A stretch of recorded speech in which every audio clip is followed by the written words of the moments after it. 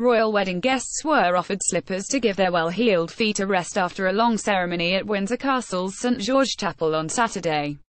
Pretty Little Liars actress Troian Bellisario showed off the comfy white slippers on her Instagram story following the wedding of Prince Harry and Meghan Markle. How amazing is this because these shoes have come off, Bellisario, 32, said on her story while holding her high-heeled shoes. They have slippies for us, slippers. I'm so ready. As she approached a gentleman handing out the slippers, he could be heard asking the actress if she would like a pair. Yes, please, she is heard saying. Providing slippers or flip-flops has become a common and welcome touch in many American weddings and now, it seems, royal weddings too. Meghan and Harry added a lot of personal touches to their wedding to make the royal affair far more personal. The couple all also gave out goodie bags to mark the special day. Aside from celebrating the slippers on social media, Bellisario sent her well wishes to Meghan and Harry on Instagram, writing in the caption, Weddings are a joyous occasion. But today was just off the charts amazing. Congratulations Meghan and Harry. I am so grateful I got to witness your love today. There are many happy years to come. Also, thank you so much at Annabella Harron at Temperley London for making me feel so beautiful on such a momentous occasion, she continued.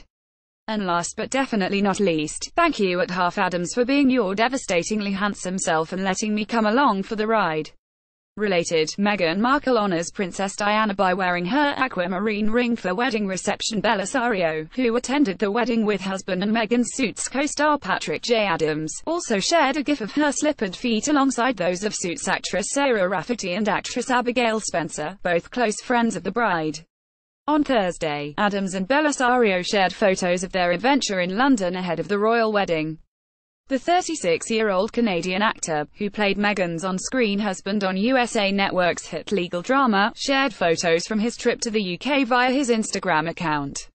The two enjoyed themselves at the Royal Standard of England, a 900-year-old alehouse that they made to celebrate a friend's birthday.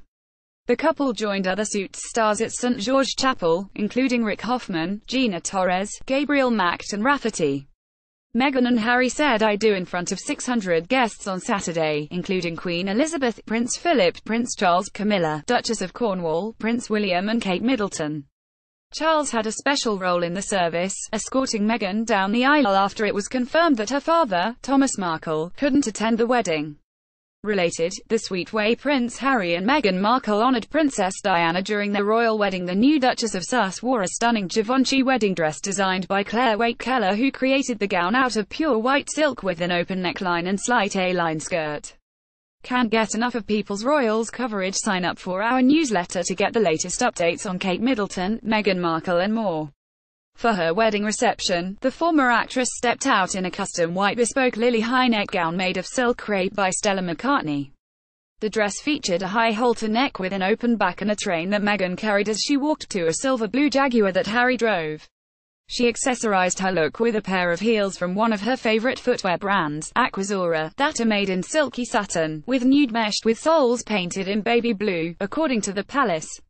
She also wore a pair of diamond drop earrings and showed off an emerald-cut aquamarine ring that once belonged to the late Princess Diana.